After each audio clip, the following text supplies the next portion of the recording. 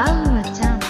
นี่ชิวะครับเพื่อนๆครับผมจังหน่อยโยนั่นนี่ครับอยู่ในแบบของออซากันนั่นเองนะเดี๋ยวในคลิปนี้นะครับจะพาเพื่อนมาดูตัวละครในแคปซูลกันดีกว่านะครับซึ่งเป็นตัวละครที่สุ่มได้จากแคปซูลอ่ะอย่างที่บอกไปแล้วโวกวนไปมานะครับเป็นแคปซูลนี้เนาะนี่นะครับเตอร์แคปซูลนะครับผมได้ตัวละครของโอซูนมานั่นเอง เป็นร่างที่กระสีแล้วเนาะมีชื่อว่าดาวโอโซนิกนะครับผมนี่มีเบสซิ่งด้วยนะครับเบสซิ่งก็จะเป็นอ่าภรรยาทั้งสามนะกุซุยเนาะประมาณนี้เลยนะครับผม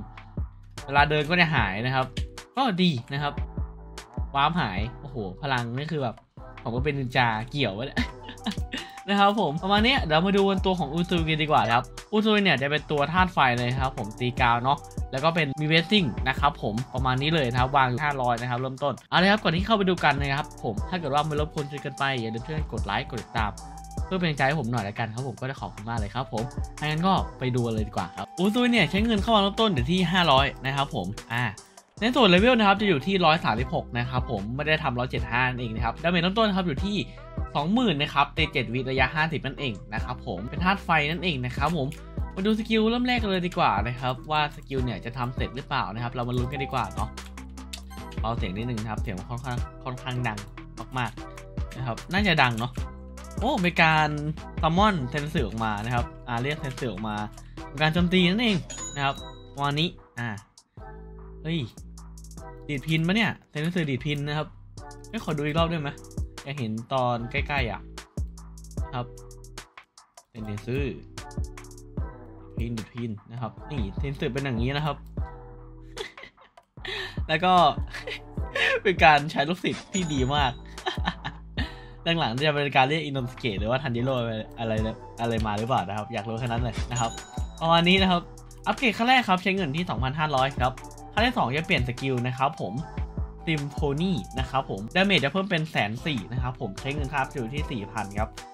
จะตีนแบบเซอร์เคิลวงกลมนะครับผมแต่ไม่ใหญ่มากนะครับ ประมาณหนึ่งนะครับกลางๆเนาะมาดู skill ดีกว่านะครับเอ้ยเดี๋ยวเดี๋ยวเดี๋ยวอะไรอย่าบอกว่าอิโนสุเกะเรียกออกมาใช่ไหมอิโนสุเกะหรือเปล่านะครับอ๋อเป็นการเป็นจะเป็นการพุ่งมาตีนะครับผมอ่าเฮ้ยเดี๋ยวนะร่างนี้มันต้องแขนขาดไม่ใช่เหรอวะทำไมมันมีสองแขนวะมันต้องแขนขาดไม่ใช่เหรอ นะฮะ อ่า นะครับ skill ค่อนข้างสวยนะครับ ผมชอบเป็น skill อย่างที่บอกเนาะว่าตัวผมเนี่ยเป็นคนที่ชอบ skill อะไรอย่างนี้อยู่แล้วนะครับ โอเค ประมาณนี้นะครับ ขออีกรอบหนึ่งไหมยังอยากเห็น อะ ประมาณนี้นะครับ skill โอเคครับ เอาขั้นที่สามครับใช้เงินที่6,000ครับ ขั้นที่สี่ครับ จะเปลี่ยน skill ใหม่นะครับ Mystical นะครับใช้เงินอยู่ที่หมื่นสองครับ damage จะเป็น 5 0 0แสนแล้วนะครับ แล้วพอ up ในขั้นที่ 5 เนี่ย จะปรับเปลี่ยนเป็นไฮบริดนั่นเองนะครับ ใช้เงินที่ 1 5 หมื่นนะครับ damage 1ล้านนะครับ ขึ้นมา1ล้านแล้วนะครับผมอ่าวงนะครับก็จะเป็นประมาณนี้ครับ เหมือนจะเท่าเดิมด้วยเนาะ Circle นะครับ มาดู skill ดีกว่านะskill เป็นการปาระเบิดนะครับ แล้วก็ฟันนะครับ นี่เอ้ย skill สวยนะ มองว่าสวยนะครับมี inbox ด้วย อ่าปาระเบิดไป ปุ๊บแล้วก็ระเบิดประมาณนี้นะครับผม ขออีกรอบ อันนี้ขออีกสักรอบจริงๆนะครับ อยากเห็นชัดๆ เป็นการปาระเบิดไปใช่ไหมครับ โอเค ขออีกรอบหนึ่งครับ ปาระเบิด ระเบิดไป อ่า ปุ๊บ ระเบิด อ่า ประมาณนี้นะครับ ไม่มีอะไรมากเนาะ แล้วก็ up ในขั้นที่ 6 นะครับ ใช้เงินอยู่ที่2ล้าน1แสนห้าหมื่นนะครับผม อ่า damage เป็น 6 ล้านนะครับผม ตีเป็นแบบ full AOE นะฮะ มองว่ายัง up แพงนะครับ แล้ว แล้วก็อืมเรียกว่าสะสมดีกว่านะครับ ผมมองว่าเป็นตัวละครสะสมดีกว่า แต่ skill สวยนะเนี่ย skill สวยแน่ครับ skill สวยนะหู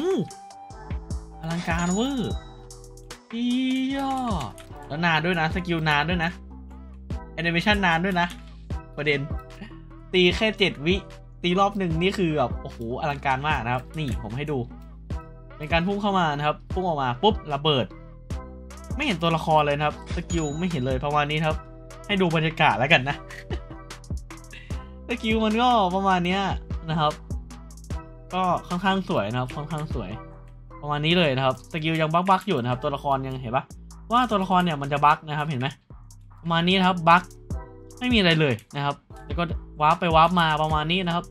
skill ยังมีแบบเออตัวละครยัง bug อะไรยัง bug อยู่นะครับ ยังเหมือนยังทำไม่เสร็จ ดีนะครับ แต่ skill animation อันนี้ยกให้เลยถ้าเกิดว่าให้ 10 คะแนน น่าจะให้สัก 6 นะครับ ประมาณนั้นนะครับผม โอเค เดี๋ยวเรามาสรุปกันเลยดีกว่านะครับสำหรับตัวของอูซุยเนี่ย level 136เนี่ยอยู่ที่ damage อยู่ที่6ล้าน3แสน2หมื่นนะครับตี7วิระยะ 100 นะครับผมแต่ buff idol นะครับ ก็อยู่ที่ประมาณเท่าไหร่เอ่ยนะฮะอันนี้คือต้องขอบคุณน้องนะครับไอดีจากน้องด้วยนะครับที่มาให้ยืมนะครับดาเมจอยู่ที่แล้วตอน2ล้าน10เซนอยู่ที่ประมาณ22ล้าน1แสนนะครับผม พอเรียกโจฮาบัตไปเนี่ยครับดาเมจก็อยู่ที่ราวๆ25 ล้าน3แสนนะครับประมาณนี้เลยนะสำหรับอูซุยอูซุยวางได้กี่ตัวอูซุยวางได้ 8 ตัวนะครับโอเคประมาณนี้ขายได้นะไม่มีอะไรมากนะครับสำหรับตัวละครของอูซุยเนี่ยเพื่อนๆคิดว่าเป็นตัวละครที่น่าสะสมไหมแล้วสกิลค่อนข้างสวยหรือเปล่านะครับกับตัวดั้งเดิมของเขาเนาะนะครับก็อย่างที่บอกนะครับอยากรู้เพราะพี่เห็นของเพื่อนๆนะครับก็คอมเมนต์ให้หน่อยแต่ที่รีแต่ที่เรารู้เนี่ยเบสซิ่งนี่กินขาดแน่นอนร้อยเปอร์เซ็นต์ครับเบสซิ่งสวยขนาดจะอดใจไหวเหรอ อันนี้พูเล่นนะครับแต่ท่านี้ครับผมถ้าเกิดใครชื่นชอบในคลิปนี้ครับรบกวนหน่อยนะครับก็อย่าลืมช่วยกดไลค์กดติดตามกดกระดิ่งให้ผมหน่อยละกันนะครับผมก็จะขอบคุณมากนะครับผมแล้วก็เจอกันในคลิปหน้าที่ผมตายโยนละครับผม